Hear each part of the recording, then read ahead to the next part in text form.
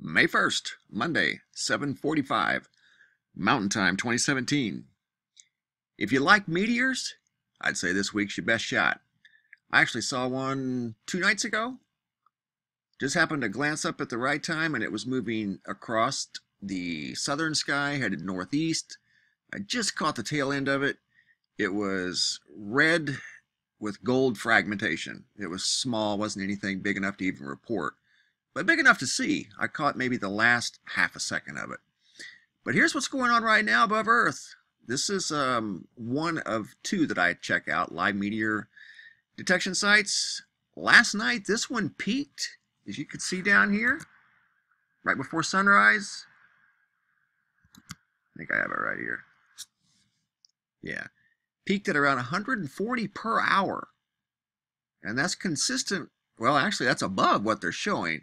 But the time frame, that's right before sunrise, that's when they're at their peak. This here, what you're looking at is a screenshot I took uh, about an hour ago when four clipped the atmosphere at pretty much the same time. And that was from right here at this venue.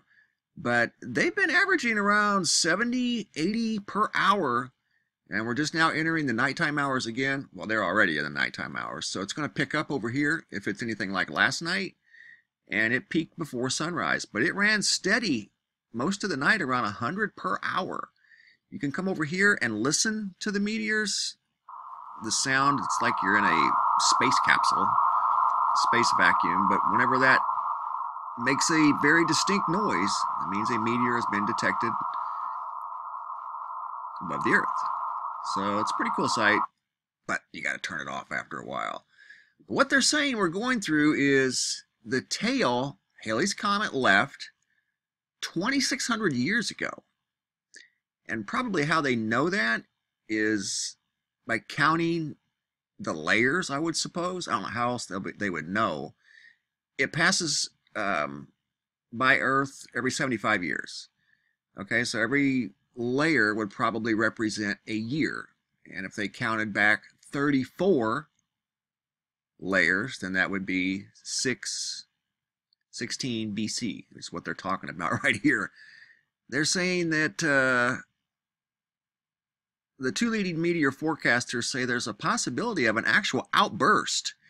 Meteor activity could increase on the 4th when Earth grazes through the dust tail released by Halley's Comet in the year 616 BC. And then another forecaster said that it could enter the field late on uh, May 5th, which could create an outburst. So they're both saying that that um, an outburst is possible, but nevertheless, right now there is a hotspot, and you can listen to them both at these two, or you can listen to them at both of these websites. Here, one just came in right there, and that was a fairly long duration one. Uh, didn't show up over here. This one here uh, picks up between Canada and I think Maryland or over in the DC area.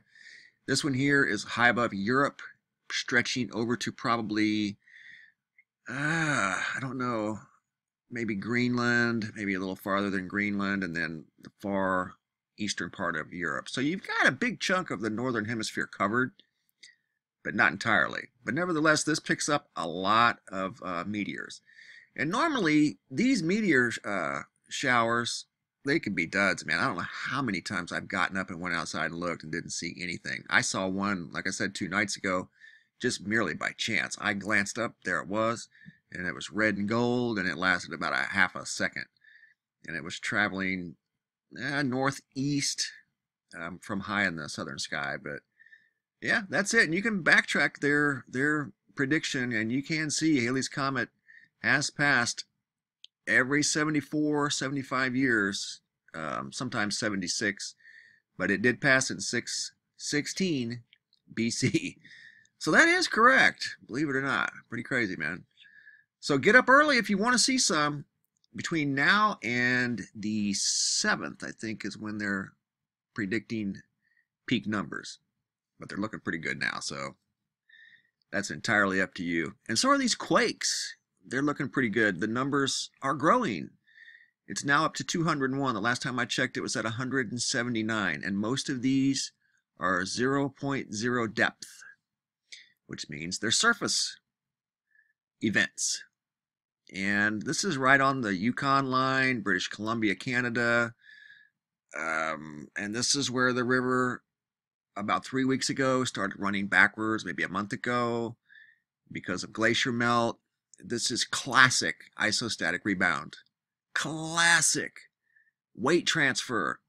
The land that has been oppressed from heavy ice, it's free. And it, yes, it was triggered. I understand by the 6.0 uh, earthquakes. There was a couple of them. I get it. I understand that. But that's what broke it free. Now you've got isostatic rebound. And there needs to, or geologists need to be up there monitoring this because the topography is changing. And it's increasing. So they've still got time to get up there if they're out, if they're not already. This is a very unique event. So get up there with your cameras and take some pictures. Or get up early in the morning and watch some meteors. Either way, eventful, uh, eventful times we're living in. And during these uncertain times, I encourage you to be brave, be strong, be wise, be ready. Thanks for watching.